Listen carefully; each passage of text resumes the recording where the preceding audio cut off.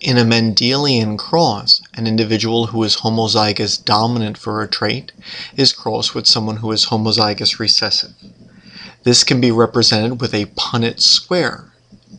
In a Punnett square, each gamete is haploid, and so therefore, if the alleles are represented by capital and lowercase letters or by, you know, other means, then only one of the two alleles would uh, be depicted in each box males will put half their alleles into one type of gamete and half into a different kind, and so would females. And so then it becomes a statistical issue which gametes fuse with uh, which gametes from the opposite gender. In the parental generation of a Mendelian cross, uh, one individual is homozygous dominant and produces only dominant alleles in their gametes, while the other individual is homozygous recessive. And all of the offspring are heterozygotes, receiving a dominant allele from one parent and a recessive allele from the other parent.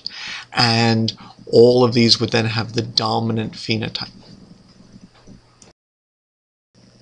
When the F1 generation is crossed, since members of the F1 generation are heterozygous, both males and females would produce two types of gametes.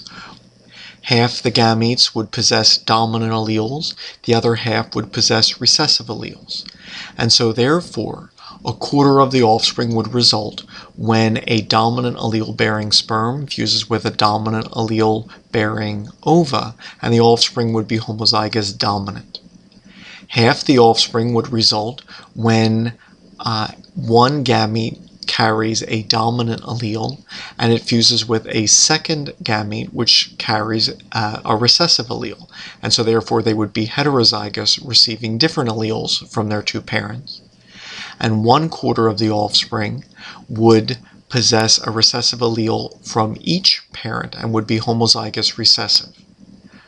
Three quarters of these offspring would uh, display the dominant phenotype.